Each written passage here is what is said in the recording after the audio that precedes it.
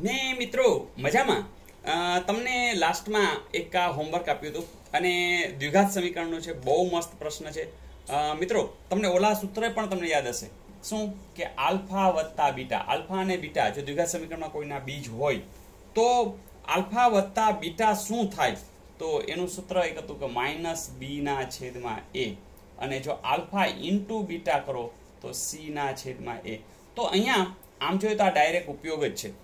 તમને ખબર જ છે કે જ્યારે તમે આને સરખાવો, એ એક્સ વર્ગ વત્તા બી એક્સ વત્તા સી બરાબર ઝીરો ત્યારે તમને વેલ્યુ જ મળી જાય છે કે એ એટલે છ બી એટલે ઓછા તેર અને સી એટલે અહીંયા એમ છે. હવે પરસ્પર વ્યસ્ત હોવું એટલે શું? તો તમને ખબર છે કે ચાર હોય ચાર, એના ગુણ્યા, એનો વ્યસ્ત કોણ થાય? તો કે એક ચતુર્થાંશ. બરાબર ને? તો ચાર અને એક ચતુર્થાંશ એનો જો ગુણાકાર કરો તો એક આવે. હા કે ના તો બે બીજ છે. અને એનો ગુણાકાર કરો તો એક આવશે. શું કામ કે પરસ્પર શું છે? વ્યસ્ત. તો આ તો આ આની જ વાત થઈ કે બે જે બીજ છે, એનો ગુણાકાર છે, એ તમને એક મળે છે. મતલબ કે આ એક મળે છે. એનો અર્થ કે સી ના છેદમાં એ, એટલે કે એ અને સી કેવા હોય? સરખા. એટલે આપણે તો આમ તો યાદ જ રાખવાનું હતું. તમને કહ્યું પણ છે કે જ્યારે પરસ્પર વ્યસ્ત હોય, ત્યારે જે એ હોય, એ જ સી હોય. એટલે કે આનો જવાબ એમની વેલ્યુ કેટલી હશે? છ. તો છ જવાબ જે લોકોએ લખ્યો છે, બિલકુલ સાચો છે. એવી જ રીતે મિત્રો વિરોધી હોય ત્યારે શું થાય? જો તો વિરોધી હોય ત્યારે શું થાય? તો તમને ખબર જ છે કે અહીંયા વિરોધી હોય તો કોઈ પણ બે વિરોધી દાખલા ચાર છે.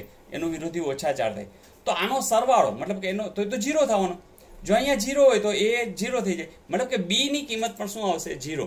તો જ્યારે પરસ્પર વિરોધી હોય, ત્યારે અહીંયા બીની વેલ્યુ હંમેશા કેવી આવશે?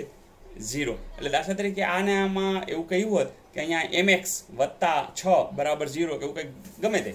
અને પછી તમને પૂછ્યું હોત કે બંને બીજ છે એ પરસ્પર વિરોધી હોય, તો અહીંયા જે એમ મૂક્યો નહીં તો એમ એટલે શું હશે? બી અને બી એટલે શું હશે? ઝીરો.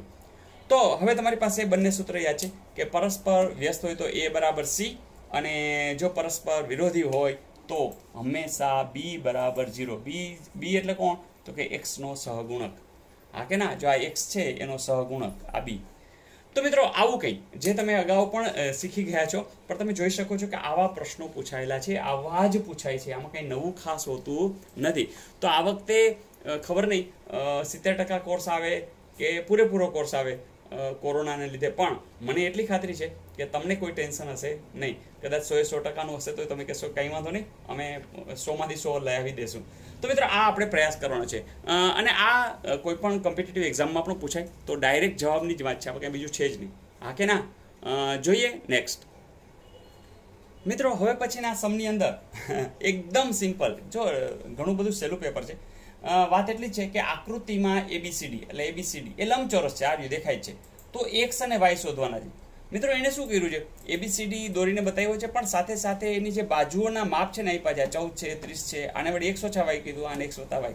પણ મિત્રો, તમને ખબર જ છે કે લંબચોરસની અંદર આ બાજુ અને આ બાજુ હંમેશા કેવી હોય છે? સરખી. એટલે તમે તરત કહેશો કે એક્સ વત્તા વાય બરાબર હંમેશા શું હોય? ત્રીસ. એ જ રીતે આ બાજુ અને આ બાજુ સામસામેની બાજુ કેવી હશે? સરખી. એટલે કે તમે ચૌદ બરાબર એક્સ ઓછા વાય લખી શકો. તો આ બે સમીકરણ મળી ગયા કે નહીં? પછી તમને કહેશો કે સર આ વત્તા વાય છે ને ઓછા વાય છે. એટલે આનો સરવાળો જ કરીએ તો. તો આ બંને સમીકરણનો સરવાળો કરો તો એક્સ વત્તા એક્સ એટલે કે ટુ એક્સ થશે. વત્તા વાય ઓછા વાય જીરો લખતો નથી. અને ત્રીસ વત્તા ચૌદ એટલે ચુમ્માલીસ થશે. એટલે તરત કહેશો કે સર એક્સ બરાબર ચુમ્માલીસ છેદમાં બે. એટલે કે બાવીસ. પણ શું પૂછ્યું છે? યસ. એક્સની કિંમત કેટલી આવશે? તો લખી નાખો એક્સ બરાબર બાવીસ. હવે મોઢે કરી શકો કે બાવીસમાં કેટલા ઉમેરો તો ત્રીસ આવે?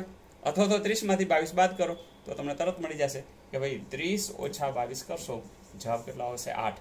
અને એ કોણ હશે? વાય. તો તમે લખી નાખશો કે વાય બરાબર કેટલા હશે? આઠ. તો મિત્રો, જો અહીં જોઈ લઈએ તમારે ચેક કરો તો કરો આ બાવીસમાંથી આઠ જાય તો? તો તરત કહેશો ચૌદ. બાવીસમાં આઠ ઉમેરો તો?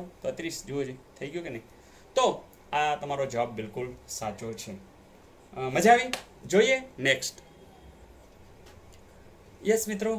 સરસ મજાનો પ્રશ્ન કે સમાંતર શ્રેણી એનો સામાન્ય તફાવત તમને આપી દીધો છે, જેને આપણે ડી કહીએ છીએ ઓછા છ છે. અને એ સોળ અને ઓછા એ બાર, એટલે કે સોળમું પદ અને બારમા પદનો તફાવત શોધવાનો છે. મિત્રો, જો કેવો સરસ, નથી તમને પહેલું પદ આપ્યું, નથી છેલ્લું પદ આપ્યું, અને સીધે સીધો ડિફરન્સ આપ્યો છે સમાંતર શ્રેણી છે સમાંતર, બરાબર? એક ધારી ઓછા છ ના ડિફરન્સથી આગળ આગળ જતી શ્રેણી છે.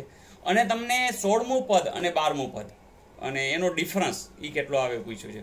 મિત્રો, આવા સમની અંદર તમને પેલું સૂત્ર આપ્યું હતું ને, યાદ છે ને? કે ડી બરાબર ટી સોળ, ઓછા ટી બાર. એની બદલે તમે એ લખો એ સોળ, એમાં કઈ ફેર નથી પડતો, બરાબર? એ બાર. અને નીચે, તો કે આ જે સંખ્યા છે, એનો, એની જ બાદ બાકી. તો આ મિત્રો સૂત્ર તમને ખબર જ છે. તો હવે તો વાત પતી ગઈ. તમારે આ શોધવાનું છે, બરાબર? એટલે આ તો એમને જ રહેશે. તો આ બે એને આપવેલા હોવા જોઈએ. આ તો એમને જ ખબર છે, સંખ્યા એટલે આપેલું જ કહેવાય. અને આ વાત છે, એ તમને આપેલું છે, કેટલું છે? ઓછા છ. તો જુઓ જોઈએ તમે ડીની જગ્યાએ મૂકી દેશો કેટલા? તો કે ઓછા છ. બરાબર. આ તો તમારે શોધવાનું છે. એ સોળ ને એ બાર.